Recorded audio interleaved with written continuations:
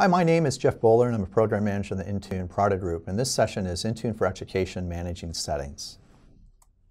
Now settings allow you to manage the features on school devices and they really define how users can work with their devices. Settings are assigned to users and devices through groups. And when assigned to users in a group, the settings will follow the user no matter what device they're using. And when assigned to devices in a group, the setting will apply to a device no matter who signs into the device. Now there's two ways to manage settings in the Intune for Education portal. The first is Express configuration, and this includes the most common settings, and we went ahead and did a walkthrough of that. But in addition, you can manage settings in groups, and this has an expanded list of settings as compared to Express configuration. This slide shows the different setting categories that are available in Express configuration and group. In Express configuration, we have five categories for settings, and these are the most common that we found that schools use. And in groups, we have all the setting categories that are in Express configuration and six additional categories. As an example, we have Windows Defender settings, device sharing settings, Windows interface customization settings, etc.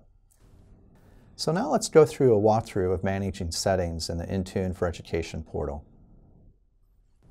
Here we are in the Intune for Education portal. To manage settings, we'll first go to the Groups menu item.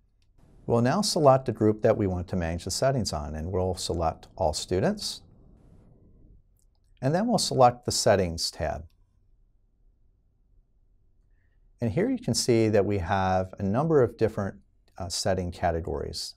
For instance, we can go ahead and expand this list. So in the basic device settings, if we wanted to block the camera, we could select that. And you notice once we make a change in any setting in a category, we see the save and discard changes. We can also take advantage of some other categories that might be helpful. For instance, we can take a look at the Windows Defender settings. We can block the access to these settings, which seems to be a good uh, setting for students. And then we can even make some setting uh, configurations around the Windows Interface Customization category. For example, we can go ahead and apply a custom start menu layout and also pin websites to the start menu if we wanted to. So this looks good for now. Uh, to save the setting changes that we've made, we just simply click Save and you can see that those setting changes have been saved and are applicable to the All Students group. And those settings will then be applied uh, to the users for that particular group right away. Let's now go back to our presentation.